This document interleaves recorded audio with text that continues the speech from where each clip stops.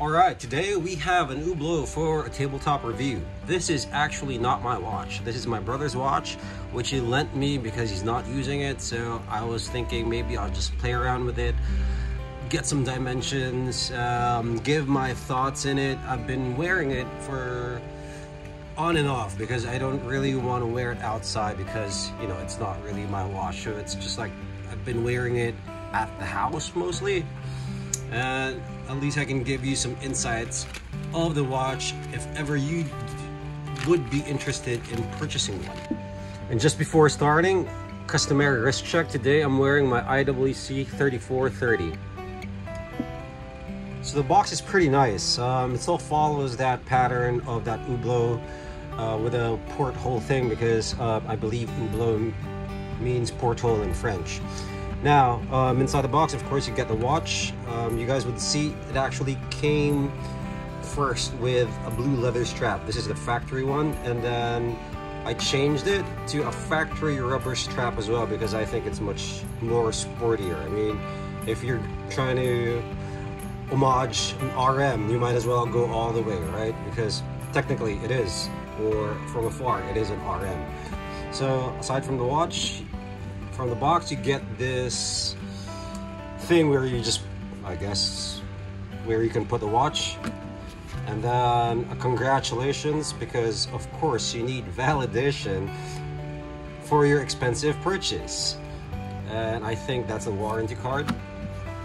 And of course the manual there. So as you guys would see this is I think the watch is like two years old already so the box has been pretty worn down but again, what's really important is the watch. Okay, so spot on 43 across the case. We have 52 from lug to lug. I'll give two measurements here.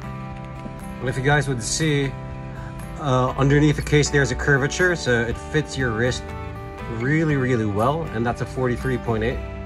And an overall thickness of 14.2. Bracelet is integrated and starts at 24.5 tapers all the way, not by much, to 21. With the total weight in this applied rubber strap of 121 grams. So this whole case is made out of ceramic, which is actually microblasted. So from afar, when I first saw this, I thought it was actually forged carbon, but which in turn is actually ceramic. Even this black, uh, this bezel is actually a ceramic bezel, bezel as well. All the screws that you would see would be from titanium. Even the pushers and the crown would be from a polished titanium. And then I believe this is a blue composite resin center case. So all applied indices, all filled with lume. Actually, the lume is good. I'll try to sneak in a lume shot later um, chronograph found, and then the three sub registers with a date at the 430. Now on the right side, that would be a 30 minute register. On the 6 o'clock side, this would be the 12 hour sub dial counter, and then a small seconds running on the 9. Your Hublot is printed on the 12, and then Swiss made at the very bottom. And then you guys would see it has this very beautiful, I don't know if it's showing, skeletonized date wheel. So you guys would see the date wheel there and then it pops up every four at the 430 position. So the detail on this, it's it's such a shame though because I don't have macro lens because I'm just shooting from an iPhone. But but the detail that they did with this dial or lack of thereof is fairly brilliant. So the movement is based on the Zenith El Primero movement that beats at 36,600 VPH, composed out of 278 parts and contains 31 jewels. It has an approximate power reserve of 50 hours and water resistant to 100 meters or 330 feet. So as you guys would know as well, um, Zenith Hublot is all owned by the parent company, uh, share the same parent company, which is LVMH. So just going back to the dial, we activate the chronograph now. very nice sweep. And then we stop and then reset. It's a very, very nice movement. As I said, again, it's a Zenith one. And then of course it's a screwed on crown. It actually winds really nice. I don't know if this will pick up.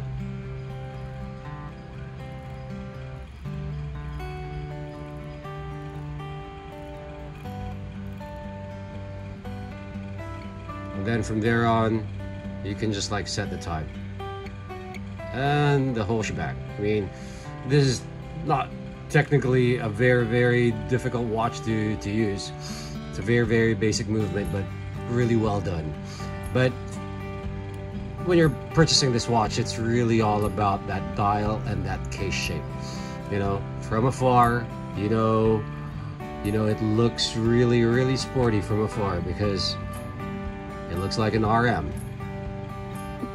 Clasp is signed Hublot. And as I said in the intro, I've changed it to the factory rubber strap, which is actually way better. It goes well with the case, blends well with the case, and there's accents of blue on the side. And the clasp is a twin trigger release. It's kind of a weird thing because this is how you will adjust it. So you just take it off. It needs to fit on two holes. And then for me, when I wear this, because again, this is not my watch, and I'm just keeping it in storage, uh, I would have to wear it at this part, and then that's already set for me. So it's nice click, nice clasp, nice strap as well. So wrist roll on a 6.5 inch wrist. And actually, I was very, very skeptical when I tried this the first time because, you know, with the dimensions, it looks so huge and it sounded so thick. But since it's ceramic case and titanium parts and then on a rubber strap, it's very, very light. And in spite of its being 14 millimeter thick, that short lug to lug that I was mentioning earlier, how it curves underneath the case, it really, really wells really good. And I was fairly surprised that it is such a comfortable wear. And I can, well, I have never tried an RM, but I can now fully understand why people try to lean towards that, this kind of shape. Because I think you know, this kind of shape is getting much more popular now more than ever because of the rising prices of RM. So watch companies are just like slowly following this. And which is in fact kind of weird because it's actually it's actually Franck Muller who actually pioneered that watch case. Well, Richard Mille actually worked for Franck Muller if I'm not mistaken. All right, now for the pros. First pro, fit and finish, fantastic. You know, that dial is just absolutely gorgeous. I believe it's just well done. Um, I'm not a big fan of skeleton dials, but this one, they just like really pulled it off. The lume is actually really good as well. I mean, watched the movie with this for two hours and I still had lume. Um, the fit and how how it's really comfortable the lightness of it the specs of it it's very very nice. Um, I can't say nothing really bad about that those specs. So the cons for this piece for me would be the lack of quick release on the bracelet you know I, as I mentioned I changed the bracelet I had to go to the Hublot AD or to the Hublot store itself for them to change the bracelet because you have to have the proper screwdriver just to, to get the bracelet off. And another con for me would be the clasp. You know, it's a nice clasp, don't get me wrong, but I think a quick fly micro adjust would be good. You know, um, they're, they're selling this to you for so much, so you would expect that these that these big brands would actually engineer a nice clasp to fit or to commensurate for the price that they are asking. You know, um, I believe Formex, which is a micro brand, a Swiss micro brand, actually has a nice micro adjust, but I have never tried it. But yet, they're trying to do something innovative and for a fraction of the price. and even as I said, that quick release for the bracelet. So those are my main cons. Usually, I I would say I'm a big fan of no date complications, but I think the date actually fits well with the overall design. Uh, I think that's a talking piece, especially with that skeletonized date wheel that goes around the dial. So closing thoughts on this watch. This is actually a very, very good piece. You know, this is the first Hublot that I've ever handled, and I'm very surprised with the, the fit and finishing of it, how they engineered it. That dial is just really gorgeous. Um, it has a good movement at the back. It ticks all the right boxes, and and if it were cheaper, I would have probably been swayed to buy one. So the question is, if I ever do have money to purchase one, will I buy it? No. It's a it's a hard pass for me. This kind of money, I could have built an entire collection five times over.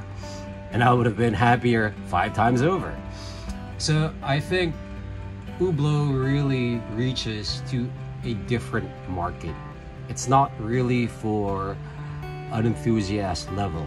I think an uh, when people buy an Hublot, they just like the brand, the brand name, the street cred that it carries, and how it appears on their wrist. Because at the very end of it, this is still way cheaper than an RM. And my brother did get this at retail, but uh, one would argue why not just buy a Rolex Daytona for that kind of money. And I can argue back that why would you pay a Rolex for a Rolex Daytona above retail? That's the biggest argument there. So at least in a way, um, my brother when he bought this, it's his only watch. So I guess it it speaks in volumes as to what the market is, who the market is for, and how Hublot can actually has a space in this watch world. So there you are. So if you guys have any questions, please do ask in the comments below. And see you on the next one.